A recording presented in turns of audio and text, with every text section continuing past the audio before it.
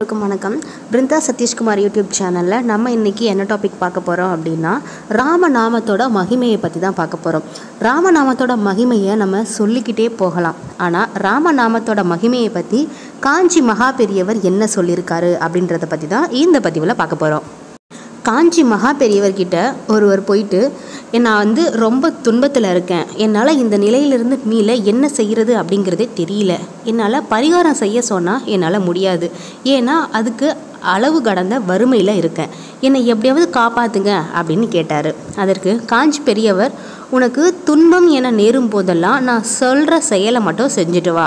உன்கிட்ட இருக்க துன்பம் உன்னை விட்டு ஓடிடும் அப்படின்னு சொல்கிறாரு அதற்கு அந்த நபர் வந்து உடனே அதை சொல் சொல்லுங்கள் நான் அதை செய்கிறேன் என்னோட துன்பம் போகணும் அப்படின்னு கேட்குறாரு பெரியவரோ சற்று நேரம் அங்கே அமைதியாக போய் ஒரு ஓரமாக உட்காரு.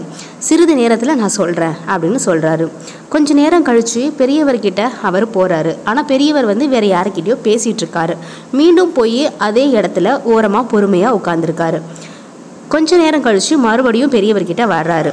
இப்போது உன்னோட துன்பம் பறந்தோடுறதுக்கு என்ன செய்யணும்? அப்படின்றத நான் சொல்கிறேன் அப்படின்னு சொல்கிறாரு உனக்கு நான் பரிகாரம் சொல்ல போகிறேன் அப்படின்னு நினச்சிக்கிட்டு நீ இவ்வளோ நேரம் அமைதியாக உட்காந்துருந்த இல்லையா?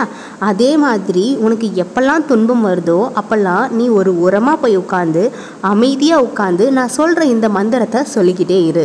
அதாவது ராமா ராமா ராமா ராமா ராமா ராமா ராமா ராமான்னு நீ சொல்லிக்கிட்டே இரு. இப்படி நீ ராமா ராமான்னு சொல்லும்போது அந்த இடத்துக்கு ஆஞ்சநேயர் வந்துடுவார் ராமா என அழைத்தா அந்த இடத்துக்கு சீதா தேவியும் வந்துடுவாங்க ராமா ராமா என பூஜித்தா ராமரை பூஜிக்கும் பரமேஸ்வரன் அந்த இடத்துக்கு வந்துடுவார். ஈசன் வந்துவிட்டால் அந்த இடத்துக்கு அம்பாளும் வந்துடுவாங்க. சிவனும் அம்பாளும் இருக்கும் இடத்துக்கு விநாயகரும் முருகனும் வந்துடுவாங்க பிள்ளையாரும் முருகனும் வந்துட்டா அந்த இடத்துக்கு லட்சுமி கடாச்சும் வந்துடும் லட்சுமி கடாட்சம் வந்துருச்சு அப்படின்னா அங்கு லட்சுமி தேவி வாசம் செய்ய ஆரம்பிச்சிருவாங்க. லட்சுமி தேவி வந்துட்டா அங்கு மகா விஷ்ணுவும் வந்துடுவார். அவர் வந்துட்டா அங்கு தசாவதார மூர்த்திகளை பார்த்துடலாம் இப்படி இறைவன் அந்த இடத்துக்கு வந்துட்டா தேவர்கள் முனிவர்கள் ரிஷிகள் என அனைவரும் அங்கே வந்துருவாங்க. இதனால் ராம நாமத்தை சொன்னால் அந்த இடத்துக்கு அனைத்து தெய்வங்களும் வந்துடும். இதனால் இவ்வளவு நேரம் பொறுமையாக அமர்ந்தது போல அமர்ந்து ராம நாமத்தை கூறிட்டு வந்த அப்படின்னாலே அனைத்து தெய்வங்களும் உன்னோட துன்பத்தை போக்க துணை நிற்பாங்க. அதனால் ராம நாமத்துக்கு அவ்வளோ மகிமை இருக்குது நமக்கு துன்பம் ஏற்படும் போதெல்லாம் ராம நாமத்தை சொல்லி அனைத்து தெய்வங்களோட ஆசீர்வாதத்தையும் பெற்று வாழ்க்கையில் எல்லா வகையான செல்வங்களையும் வளங்களையும் பெறுவோம்.